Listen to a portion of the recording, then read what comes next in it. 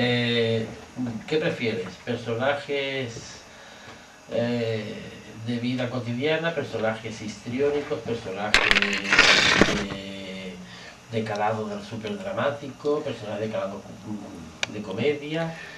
A mi m'agrada molt la comèdia. I la comèdia, com més realista sigui, molt millor. Avui en dia ja no hem d'anar a fer comèdia en so, en so sentit de comèdia en si. Avui en dia has de representar un personatge dins una vida real o dins un món determinat, però que ho has d'intentar aparentar el més real possible. ¿Y siempre prefieres un teatro de tresillo o teatro, de estos surrealista? No, no, jo, jo m'estim més teatre realista, O sea, m'agrada més. Costumbrista. Sí senyor, sí senyor. Jo, jo som un, un fervent admirador del teatre, del teatre costumista, del teatre real, que si jo interpreto una persona de 60 anys, doncs he de ser un personatge de 60 anys. Jo hi respecto molt, hi ha vist coses molt bones, en coses surrealistes, en altres Sí. tipus de teatre, que m'agraden i respecto, però per ja la meva condició i la meva edat i les meves característiques, crec que me van millors papers. Y como actor, ¿qué te cuesta menos trabajo? ¿Representar un personaje más cercano a ti o más lejano a ti? Jo crec que és bo que el fegem un poc en fora de lo que són nosaltres en realitat, perquè si no correm el perill d'acomodar-nos a lo que són nosaltres i no és així. Per dir, eh, qualsevol personatge, malament tu ho puguis estructurar de dins del teu context, jo crec que és bo estructurar-lo com a personatge en concret i què faria aquella persona, no què faria en Nicolau, què faria aquell personatge, com actuaria, com reaccionaria en determinades circumstàncies.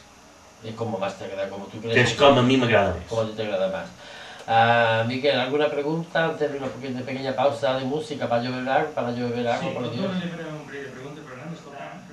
Bon dia, Colau. Bon dia, Miquel. Bueno, jo t'ho volia demanar una miqueta la problemàtica del teatre a Mallorca, perquè a Mallorca sempre els actors, ara no tant, perquè que, que, que hem de reviscolant-se, els actors de la península mmm, s'ho pensaven molt a les hores de les companyies aquí perquè deien que el teatre no era rentable a Mallorca. Tu què en penses? Així com estava estructurat fins fa poc temps, realment no era rentable que una companyia vengués a Mallorca a intentar defensar-se per unes taquilles que se poguessin fer determinades. Aleshores, les companyies que venien, venien ja amb un preu concret i amb un guany fet. Què mos passa a els mallorquins? Que no dona per tots. Que el que parlàvem abans, tenim la sort a Mallorca, a Balears, que hi ha molt de grup de teatre, hi ha molta gent de teatre, aleshores no, el pastel no basta per tothom s'ha de fer una selecció, s'ha de fer, eh, s'ha d'exigir uns mínims, lògicament per poder fer unes representacions a teatres, dirien, de les institucions oficials. Què passa? Que, que, que quan no tinguis medis per poder arribar a una petita subvenció, bé d'un ajuntament local o bé de, de, de l'institució que sigui, avui en dia se fa molt feixuc muntar una obra de teatre. Per què? Perquè no pot presentar les coses segons de quina manera. Has de presentar una obra de teatre en sos mínims exigibles avui en dia, perquè és que si no és que hi ha molta diferència. D'una cosa mitjanament professionalitzada a un grup d'aficionats, tothom se pot posar en el lloc del grup d'aficionats, però totes les pegues que tenen aquests llocs per fer un decorat que és necessari, totes les pegues que puguin tenir per arribar a trobar un vestuari adequat segons quin tipus d'obra feien, és molt feixuc. Aleshores, què passa? Pues que, que encara no està, crec jo, suficientment desenvolupat, diríem, la, la política cultural en quant a, a les ajudes les grups de teatre, que n'hi ha molts, per sort per tots. Sí, sí, sí, sí, sí. De todas maneras, eh, por lo que he visto aquí en tu currículum, que es extensísimo, porque el mío tiene cinco páginas y dicen que es grande, tú tienes siete, ya ves. Eh, creo que el teatro en Mallorca ha dado un receso, ¿no? Ha, ha tenido un receso hacia atrás en cuanto a grupos de teatro y representaciones en los pueblos y estas cosas, ¿no? Per les No sé, exigències, dices, per les exigències de que avui en dia eh, no se poden presentar les coses segons de quina manera. Abans ho feien més per la família, per nosaltres, per els amics, i, i tot anava bé.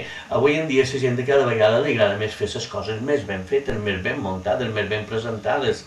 Eh, moltes vegades trobes pegues per trobar un teatre que te vulgui obrir les portes, perquè no és tan sol muntar l'obra de teatre, però ara vendrà, jo què sé, ara per dir un exemple, vendrà un grup de Consell de Palma de on sigui, que no és molt conegut i demanarà el teatre d'Artà i és complicat. I el gerent d'aquest teatre, sense conèixer, no obrirà unes portes d'una cosa que a lo millor es posarà en funcionament, li produeix un gastos i no té unes garanties de tenir unes entrades. O que ja la subvenció que tenia per teatre pues s'ha donat, lògicament, al grup local i ve un de fora i com ho fem. I la gent que fa teatre el que li agrada és presentar obres públics. ¿No, no tendrá también que ver que cada vez las exigencias como trabajadores, es decir, como trabajadores hay que seguridad social, hay que pagar impuestos, tienen que pagar eh, eh, impuestos de espectáculo, todo esto lo ha encarecido excesivamente la cultura. Moltíssim. Antigua- bueno, hace unos años, y yo lo sé porque yo no soy, no, no he hecho nada más que dos o tres obras en mi vida, eh, allí de donde yo vengo, muy lejos. Y se hacían las obras y se hacían con el cariño de decir, bueno, nos repartimos la taquilla y lo más que podemos sacar para la taquilla es irnos a comer por ahí todos juntos, que es lo que se hacía entonces. Lo que igual. Y ya está, pero no había que pagar ni seguro. Bueno, si te caía, pues nada, oye, ¿qué ibas a hacer? Pues te ibas al, al dispensario y es lo que perdías. Pero yo creo que eso también ha afectado, ¿no? Sí, sí, sí, és a dir, és que ara tot el món ben revolta, diríem, la formació d'un grup de teatre, amb unes conseqüències que són el que tu dius, seguretat social, eh, pagar, pagar el dret d'autor, tal i qual, claro, que ho enquereix. I què passa? Que si no tens uns mínims recursos, pues la gent ho fa... O no ho fa, vaja, Pero, pero incluso desde el, mismo, desde el punto de vista del mismo actor. Yo, por ejemplo, Miguel Cacho Teatro, tú también, yo poquito, nosotros no íbamos exigiendo dinero. Yo, en principio, en mis tiempos, yo no exigía dinero a nadie. Yo, para mí me era tal placer subirme a un escenario que con eso disfrutaba. Al contrario, nos costaba. Nos costaba Nos dinero. costaba Y doble. hoy te vas a un chaval, un chico de 18, 19 años, mira, vamos a hacer una... Y lo primero que te dice es, "No, ¿y cuánto vas a pagar?